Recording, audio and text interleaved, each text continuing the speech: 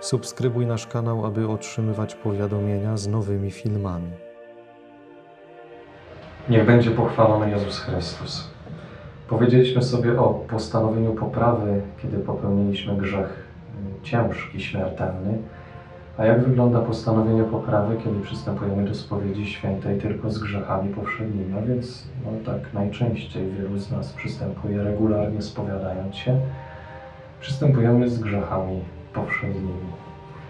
I jeżeli regularnie się spowiadamy, spowiadamy często możemy y, mieć takie poczucie, że grzechy się powtarzają, że nic się nie zmienia w naszym życiu, że to chyba postanowienie poprawy nie jest właściwe w naszym życiu, skoro upadamy cały czas w te grzechy powszednie, mimo naszych szczerych chęci zerwania z grzechem.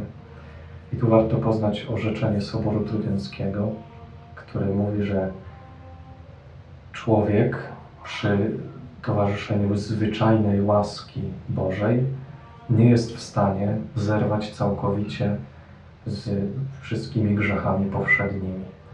Czyli musielibyśmy otrzymać jakąś szczególną łaskę Bożą, e, która by pozwoliła nam zerwanie e, z tymi grzechami. A więc one po prostu będą nam towarzyszyć do końca życia. Oczywiście to nie oznacza, że mamy być pobłażliwi, bo musi być w nas szczera chęć zerwania z każdym grzechem, by nie przyzwyczajać się do grzechu, by go nie lekceważyć. I na pewno nie mam takiej intencji, żeby tutaj przyklepać nasze grzechy powszednie. Z nich też trzeba powstawać. Tylko chodzi o to, że ta, to zmaganie, ta walka raczej y, będzie nam towarzyszyć przez całe życie. I nie patrzmy na cel naszego życia, że osiągniemy stan bezgrzeszności zupełnej, a raczej patrzmy na to, by unikać i popełniać jak najmniej grzechów, one po prostu zrywać z grzechami, które nam się przydarzają i by było ich jak najmniej. Dlatego postanowienie poprawy w takiej sytuacji wystarczy, że jest szczere i mamy naprawdę taką chęć zerwania z każdym grzechem.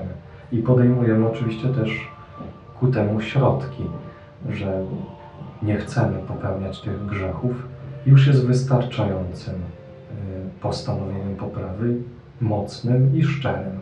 Jeżeli nie lekceważymy tego, y, świadomie i dobrowolnie chcemy zerwać z każdym grzechem, y, tak naprawdę taki akt już wystarczy.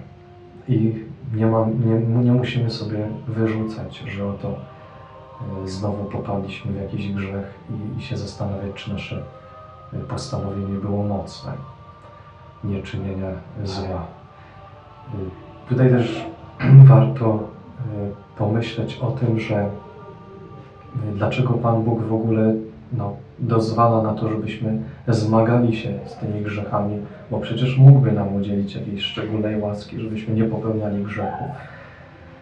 Ale moi drodzy, Pan Bóg jest doskonałym wychowawcą i On e, wie, jak nas poprowadzić i wie, że gdyby nam dał łaskę, żebyśmy wychodzili po kolei z tych grzechów powszednich, gdybyśmy wiedli stan taki bezgrzeszny, wkrótce byśmy popadli w grzech pychy, który jest jeszcze gorszy niż trwanie w tych grzechach powszednich, z którymi walczymy na co dzień bo grzech pychy, kiedy wrośnie w nas, może spowodować nawet całkowite oddzielenie od Pana Boga i spustoszenie większe niż jakikolwiek grzech powszedni. Także przede wszystkim bójmy się i brońmy się przed pychą bardziej niż przed tymi drobnymi niedoskonałościami, na, grzechami naszego życia tego dnia powszedniego.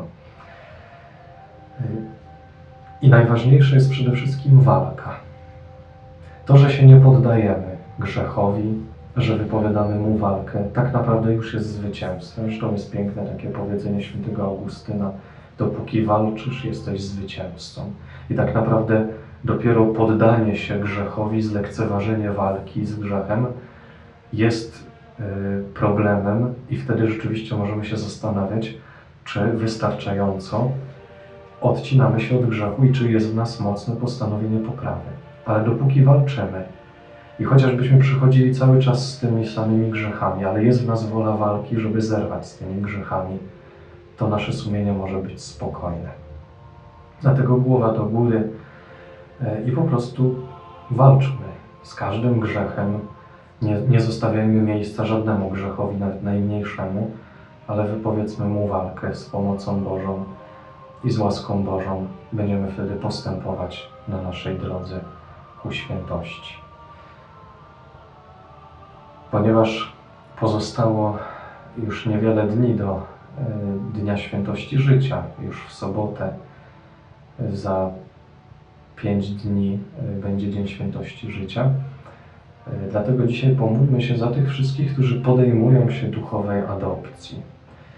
E, Dzień Świętości Życia jest doskonałym dniem, by podjąć się takiej duchowej adopcji albo odnowić tą duchową adopcję.